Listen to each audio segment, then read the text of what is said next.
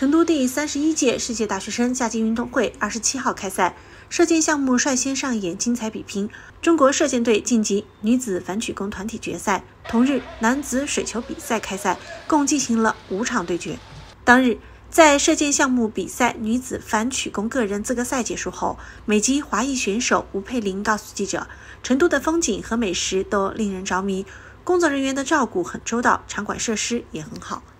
非常荣幸的来成都，因为我在美国就是学中文的，我在美国出生的，所以我就是第一次来中国，就是非常荣幸能来。有一一点下雨，所以我刚开始有点不是那么好，可是我慢慢的就呃就更好更好，设施非常非常的好，我这里非常喜欢，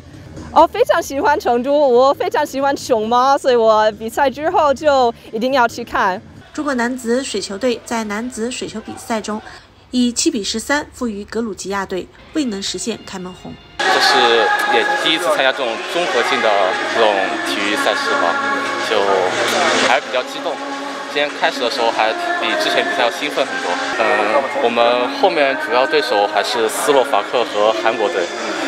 这两场球还是要抱着必胜的心态去打的。我们目标是进前八，就一定要打赢这两支队伍，还是后面好好为这两场比赛做准备吧。当日男子水球比赛，两大夺冠热门队伍意大利队和美国队狭路相逢，经过激烈对决，意大利队以十三比十一战胜美国队。我很高兴，因为这是一场很精彩的比赛。意大利队和美国队之间的比赛一直都很精彩，双方水球都打得很好。今天我们比他们好一些，